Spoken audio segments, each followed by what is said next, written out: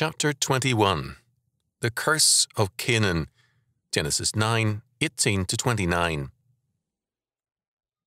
And the sons of Noah that went forth of the ark were Shem, and Ham, and Japheth.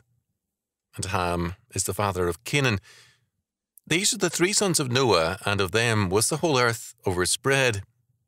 And Noah began to be an husbandman, and he planted a vineyard. And he drank of the wine, and was drunken, and he was uncovered within his tent. And Ham, the father of Canaan, saw the nakedness of his father, and told his two brethren without. And Shem and Japheth took a garment, and laid it upon both their shoulders, and went backward, and covered the nakedness of their father, and their faces were backward, and they saw not their father's nakedness. And Noah awoke from his wine, and knew what his younger son had done unto him. And he said, Cursed be Canaan, a servant of servants shall he be unto his brethren. And he said, Blessed be the Lord God of Shem, and Canaan shall be his servant. God shall enlarge Japheth, and he shall dwell in the tents of Shem, and Canaan shall be his servant. And Noah lived after the flood three hundred and fifty years. And all the days of Noah were nine hundred and fifty years, and he died. Genesis 9 18 to 29. Verses 18 and 19 are almost an introduction to Noah and his sons. Because there is now a different world, we are reminded of the men who peopled it. They are survivors of the old world and they carry its genetic tint, original sin, the will to be one's own God. The focus of this text is not on Noah's drunkenness, too many commentators and preachers center their attention on that fact rather than on Ham's attitude. Taking the fact of Noah's drunkenness at its worst, it is indicative of people's standards that a son's contempt for his father is seen as less serious than a man's intoxicated condition. A man's single episode of drunkenness affects his life for part of a day. The contempt for a parent warps a person's entire life. Noah became a farmer and he planted a vineyard. Verse 20.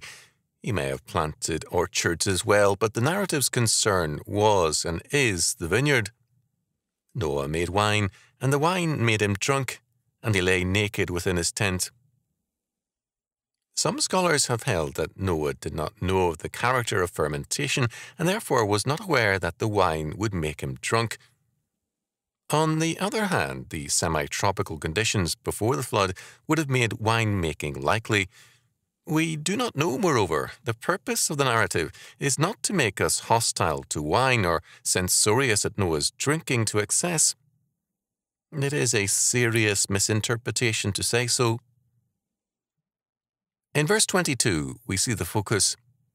Ham saw his father's drunken, naked condition, and he reported it to his brothers evidently with satisfaction.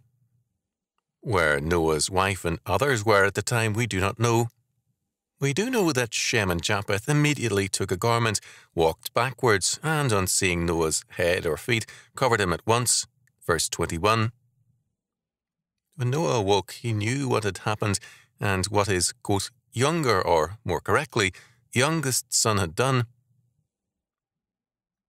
Verses 25 to 27 have an important history. They have been used to justify black slavery, to indict the Bible as a racist book, and to attack Christianity as a religion of racial supremacy.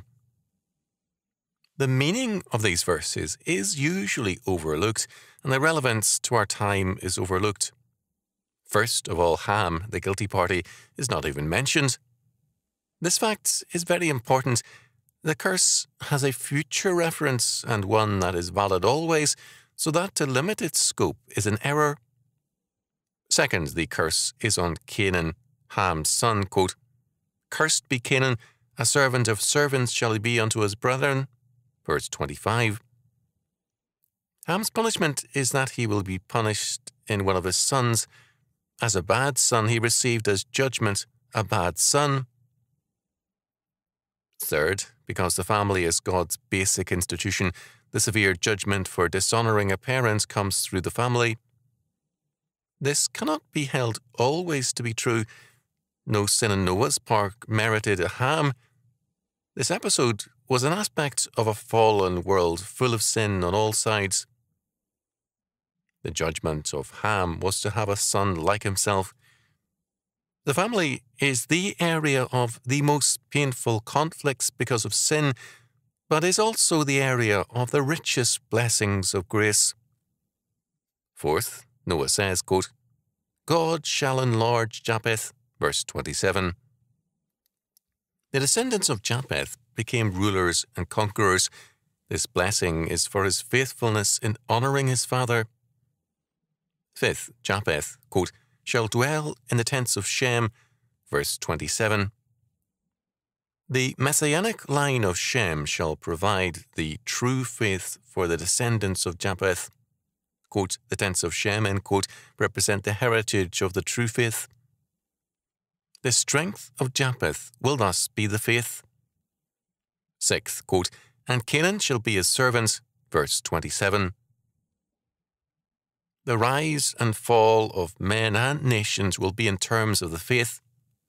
The Canaanites of history, of whatever race they may be, will end up as the servants of God's people. Whatever their race or colour, the Canaanites, whatever their ancestry, are the enemies of the family and of God's law. Today, both Western quote unquote white culture and quote unquote black culture are Canaanite in character and barring repentance and change, their heritage will be enslavement.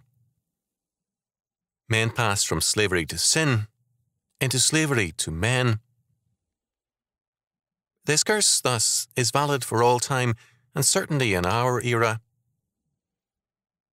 In verses 28 following, we are told that Noah lived 350 years after the flood for a total of 950 years. The sin of Adam was a contempt for God's authority and a desire to be his own God and law. Ham's contempt for his father was likewise a contempt for authority. Noah's drunkenness simply gave Ham the opportunity to show his contempt openly. The goal of many in every era is to find some pretext whereby they can vindicate their contempt for men in authority their justification for themselves consists in calling attention to the real or imaginary sins of others. They are especially full of malice towards those superior to them. The validity of this curse for all time rests in this fact of the continuing hostility of fallen man for all authorities, God Himself first of all, and all God ordained authorities. The world after the flood is marked by this curse because the whole human order, to have any progress, must have godly authority.